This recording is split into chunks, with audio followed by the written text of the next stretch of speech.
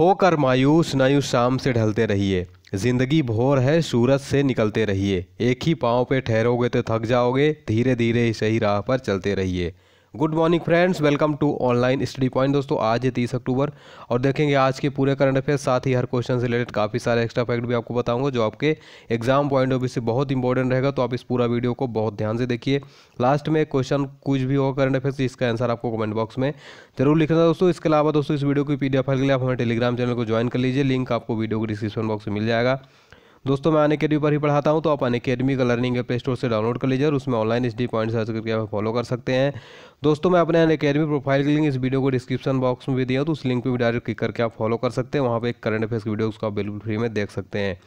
दोस्तों, यदि आप हमारे चैनल पर पहली बार विज़िट करें, चैनल को सब्सक्राइब ज़रूर कर लें, साथ ही बेल आइकन प्रेस करें ताकि आपको उसी तरह की डेली वीडियोज़ मिलती रहे। दोस्तों, यदि वीडियो पसंद आए तो प्लीज़ लाइक ज़रूर करें, इस वीडियो को शेयर कर दें और वीडियो को अंत तक ज़रूर देखिए। एक एक क्वेश्चन काफ़ी इंपॉर्टेंट है आगामी सभी गवर्नमेंट एग्ज़ाम के लिए। चलिए स्टार्ट करते हैं। पहला क्वेश्चन है, इसरो के पूर्व चीफ का क्या नाम है, जो हाल ही में भारतीय जनता पार्टी में शामिल हुए हैं? तो इसरो को पूर्व चीफ का नाम है दोस्तों माधवन नायर। ऑप्शन भी राइट हो जाएगा। आपको बता दें कि इसरो के जो पूर्व चीफ है, माधवन नायर समेत राज्य के चार अन्य नेता पार्टी में शामिल हुए हैं। इसे बीजेपी को केरल में पाँच नए नेता मिल गए हैं। दोस्तों, यहाँ पे बात हो रही इसरो की।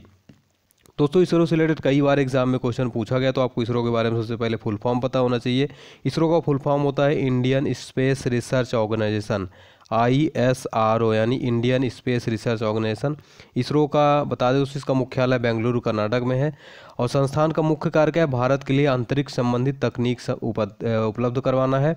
और अंतरिक्ष कार्यक्रम के मुख्य उद्देश्यों में उपग्रह प्रमोचक, यानी परिजापी रॉकेट और भू प्रणालियों का विकास शामिल है।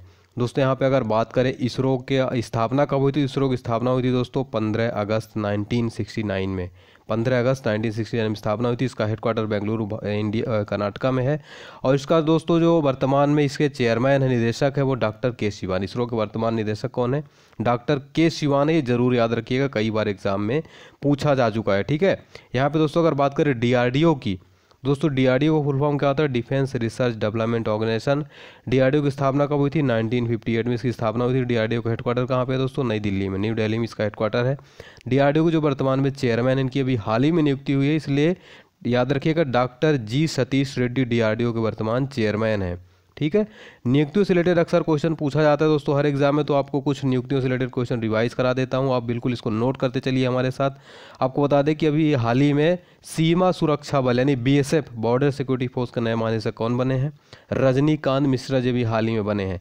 ये नोट कर लीजिए, उसके बाद आपको अगला बता देते अभी हाल ही में भारत का नया सॉलिसिटर जनरल नियुक्त किया गया है। तुषार मेहता को, ठीक है? तुषार मेहता को वर्तमान में यहाँ पे याद रखिएगा, भारत के अटॉर्नी जनरल है के के वेणुगोपाल, लेकिन सॉलिसिटर जनरल की बात करें, तुषार मेहता हैं। दोस्तों, अगर बात करें भारत के भी हाल ही में नए मुख्य न्यायाधीश बन गए हैं, न्यायमूर्ति रंजन गोगोई। दीपक मिश्रा के स्थान पर छियालीसवां मुख्य न्यायाधीश बनाया गया भारत का। रंजन गोगोई को न्यायमूर्ति रंजन गोगोई है, भी आप नोट कर लीजिए। उसके अलावा हॉकी इंडिया का नया अध्यक्ष अभी हाल ही में किसको बनाया गया है? मोहम्मद मुश्ताक अहमद को, ठीक है? हॉकी इंडिया का नया अध्यक्ष बनाया गया है। और अभी हाल ही में देश की सबसे बड़ी समाचार agency press trust of India यानी पीटीआई का नया अध्यक्ष इसको बनाया गया है? एन रवि को बनाया गया, ठीक है? पीटीआई का नया अध्यक्ष भी बनाया गया, एन रवि को।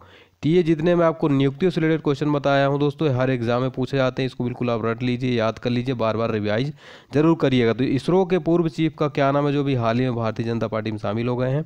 माधवन नायर, ठीक है? तो ये आपको फैक्ट याद रखना है काफ़ी इंपॉर्टेंट इसी तरह मैं हर क्वेश्चन में आपको एक्स्ट्रा फैक्ट बताता हूँ। वीडियो को अंदर तक देखिए। वीडियो यदि थोड़ी सी भी अच्छी लगे तो प्लीज़ लाइक करके उत्साहवर्धन हौसला ज़रूर बढ़ाएँ। आज का टारगेट तेरह हज़ार लाइक का तो फटाफट वीडियो लाइक और शेयर ज़रूर कर दें।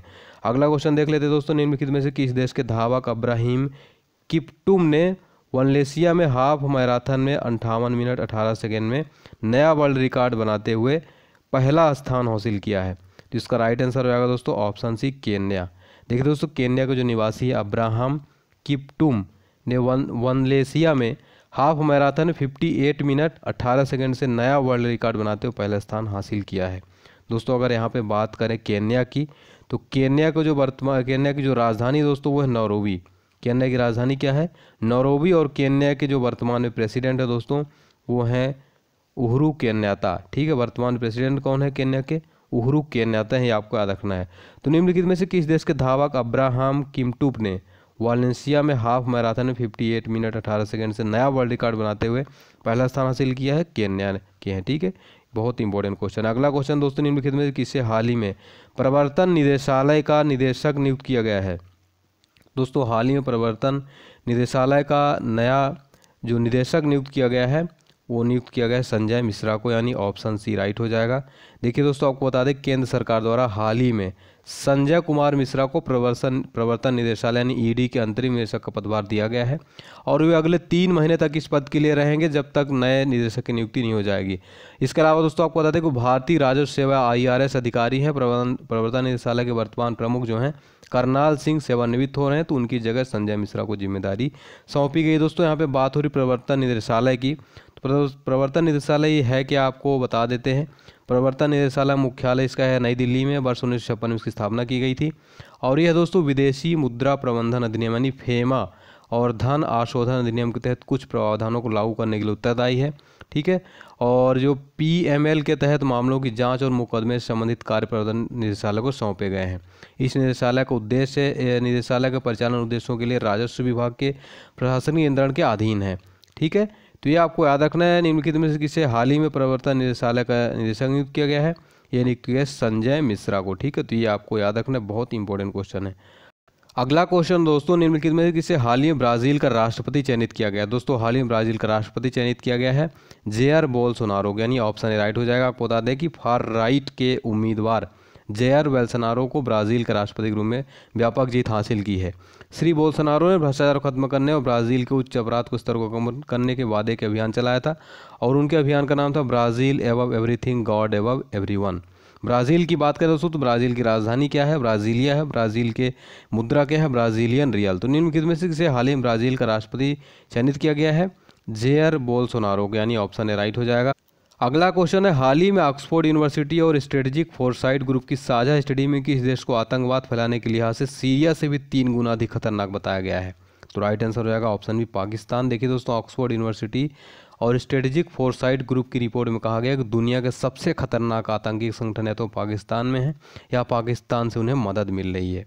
ठीक है तो ये पाकिस्तान हो जाएगा। पाकिस्तान की बात करें राजधानी क्या इस्लामाबाद। और लार्जेस्ट सिटी है कराची। पाकिस्तान के अभी हाल ही में राष्ट्रपति नियुक्त किए आरिफ अलवी और पीएम बने हैं इमरान खान। ठीक है क्रिकेटर हैं, मशहूर क्रिकेटर हैं इमरान खान। तो हाल ही में ऑक्सफोर्ड यूनिवर्सिटी और स्ट्रेटेजिक फोरसाइट ग्रुप की साझा स्टडी में कि इस देश को आतंकवाद फैलाने के लिहाज से सीरिया से भी तीन गुना अधिक खतरनाक डेंजरस देश बताया गया, पाकिस्तान को बताया गया है। अगला क्वेश्चन है, अंतर्राष्ट्रीय वायु परिवहन संघ की रिपोर्ट के अनुसार वर्ष दो तक कौन सा देश विश्व का तीसरा सबसे बड़ा विमानन बाज़ार बन जाएगा? राइट आंसर है ऑप्शन है इंडिया देखिए दोस्तों, अंतर्राष्ट्रीय वायु परिवहन संघ की रिपोर्ट के अनुसार वर्ष दो तक भारत विश्व का तीसरा सबसे बड़ा विमानन बाज़ार बन जाएगा और वर्तमान में भारत वैश्विक विमानन बाज़ार में सातवें स्थान पर ठीक है सेवेंथ नंबर पर है। क्वेश्चन अगला क्वेश्चन है, एशियाई हॉकी चैंपियंस ट्रॉफी दो हज़ार अठारह में भारत और किस देश को संयुक्त विजेता घोषित किया गया है? तो राइट आंसर रहेगा दोस्तों, इसका ऑप्शन सी पाकिस्तान। देखिए दोस्तों एशियाई हॉकी चैंपियंस ट्रॉफी में भारत और पाकिस्तान को संयुक्त विजेता घोषित किया गया।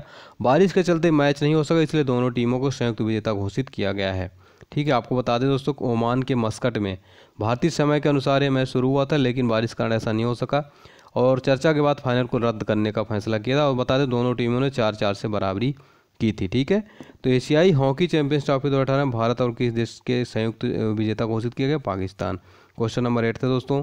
बांग्लादेश के कोर्ट ने विपक्षी पार्टी बीएनपी की चेयरपर्सन और पूर्व प्रधानमंत्री खालिदा जिया को, जिया चैरिटेबल ट्रस्ट घोटाला मामले में कितने साल की जेल की सज़ा सुनाई है? तो इसका राइट आंसर हो जाएगा ऑप्शन डी सात साल की। देखिए दोस्तों, बांग्लादेश की एक कोर्ट ने विपक्षी पार्टी बीएनपी की चेयरमैन और पूर्व प्रधानमंत्री खालिदा जिया को जिया चैरिटेबल ट्रस्ट घोटाला मामले में सात साल की जेल की सज़ा सुनाई गई है, ठीक है? तो ये इसका राइट आंसर हो जाएगा ऑप्शन डी क्वेश्चन नंबर अगला क्वेश्चन है, भारत ने संयुक्त राष्ट्र के शांति मिशन के लिए कितने लाख डॉलर का योगदान दिया है?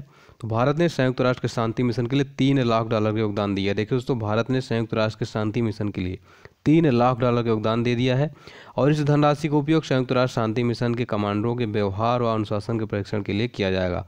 दोस्तों, यहाँ पे बात हो रही संयुक्त राष्ट्र की तो आपको बता दें कि संयुक्त राष्ट्र संघ की स्थापना हुई थी 24 अक्टूबर 1945 को, ठीक है? 24 अक्टूबर को प्रतिवर्ष संयुक्त राष्ट्र दिवस मनाया जाता है। संयुक्त राष्ट्र को जो वर्तमान महासचिव है दोस्तों, वो है इंटीनियो गुटेरस, पुर्तगाल के हैं। तो आपको फैक्ट याद रखना संयुक्त राष्ट्र संघ का मुख्यालय कहाँ पे? न्यूयॉर्क यूएसए में ठीक है?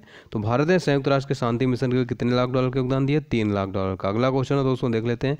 हाल ही में भारत ने परिवर्तित सुखोई थर्टी एम के आई लड़ाकू विमान को किस भारतीय सेना में शामिल किया गया है? तो राइट आंसर हो जाएगा भारतीय वायुसेना में। देखिए दोस्तों, आपको बता दें, हाल ही में भारत में परिवर्तित सुखोई एम के एम के आई लड़ाकू विमान को भारतीय वायुसेना में शामिल किया गया है और इस लड़ाकू विमान को पुणे के वायुसेना के बेस में तैनात किया जाएगा, ठीक है? अगला क्वेश्चन देख लेते हैं। किसानों की आय किस वर्ष तक दोगुना करने के लिए बनी राज्यपालों की समिति ने राष्ट्रपति को अपनी रिपोर्ट दे दी है। इसका राइट आंसर होगा दोस्तों ऑप्शन डी 2022 तक, ठीक है? देखिए दोस्तों, किसानों की आय 2022 तक दोगुना करने के लिए बनी राज्यपालों की समिति ने राष्ट्रपति को अपनी रिपोर्ट सौंप दी है। लास्ट क्वेश्चन देख लेते हैं। विराट कोहली वेस्टइंडीज के विरुद्ध एक दिवसीय क्रिकेट में लगातार कितने शतक लगाने वाले पहले भारतीय क्रिकेटर बन गए हैं? उसका राइट आंसर हो जाएगा ऑप्शन है तीन। देखो दोस्तों, भारतीय क्रिकेट टीम के जो कैप्टन है, विराट कोहली, एक दिवसीय क्रिकेट, यानी वनडे क्रिकेट में लगातार तीन सेंचुरी लगाने वाले पहले भारतीय क्रिकेटर बन गए तो ये भी बहुत इंपॉर्टेंट फैक्ट हो जाता है। तो आपको याद रखना है। आप देख लेते हैं दोस्तों लास्ट वीडियो का आंसर मैंने क्वेश्चन पूछा था, हाल ही में किसे? प्रथम कृषि, विश्व कृषि पुरस्कार प्राप्त हुआ तो इसका राइट आंसर था option B professor M S Swaminathan. सभी स्टूडेंट ने राइट आंसर दिया था। दोस्तों अब देख लेते हैं, आज का सवाल क्या, आज का क्वेश्चन क्या है? किसे मिस ग्रैंड इंटरनेशनल दो का ताज पहनाया गया है? तो इसका राइट आंसर आपको कमेंट बॉक्स में ज़रूर लिखना ऑप्शन दे रखे दोस्तों, यदि आपने कल की वीडियो देखी होगी तो आपको आंसर पता होगा। इतनी देखिए जस्ट यहाँ पे अभी प्ले होगी दोस्तों इंडिया स्क्रीन में आएगी, ज़रूर देख लें। बहुत इंपॉर्टेंट है कल की वीडियो ठीक है? तो मिलते हैं नेक्स्ट वीडियो के साथ। वीडियो यदि पसंद आए तो प्लीज़ लाइक करें शेयर करें चैनल को सब्सक्राइब कर लें कमेंट बिल्कुल करें। बहुत कम लोग कमेंट करते ज़्यादा से ज़्यादा लोग कमेंट करेंगे दोस्तों। आप हमारे साथ एक्टिव जैसे मैं आपके लिए डेली करंट अफेयर्स वीडियोज़ लाता हूँ। वीडियो लाइक कर दें कमेंट ज़रूर करें, ठीक है दोस्तों? तो मिलते हैं नेक्स्ट वीडियो के साथ। आपका दिन शुभ हो ऑल द बेस्ट जय हिंद, जय भारत।